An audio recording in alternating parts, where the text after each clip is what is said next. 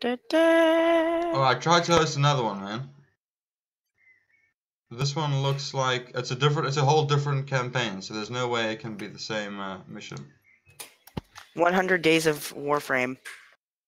Day one, wake up 10 For me, it's Uh, 200 That's a that's a really cool video, actually.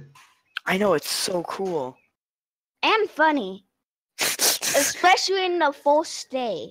First day, he just throws it, grabs kunai, misses. throws. Misses all of them. Yeah.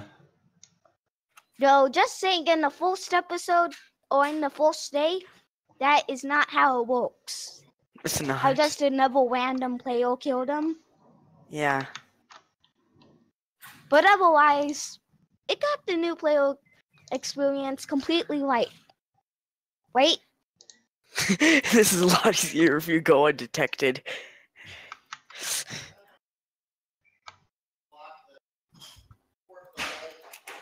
also, do you know what I love about Volt? His second ability. Yeah. Guess what it does? What? Speed. Super Oh. speed. And some people build for maximum power strength, and you can imagine